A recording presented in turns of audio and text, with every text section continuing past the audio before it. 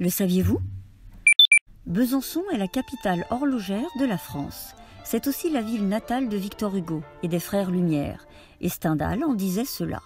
Besançon n'est pas seulement une des plus jolies villes de France, elle abonde de gens de cœur et d'esprit. Ces mots ne peuvent que vous inciter à venir la parcourir. En guise de couronne, une citadelle la surplombe. Vauban, son bâtisseur, vous y attend.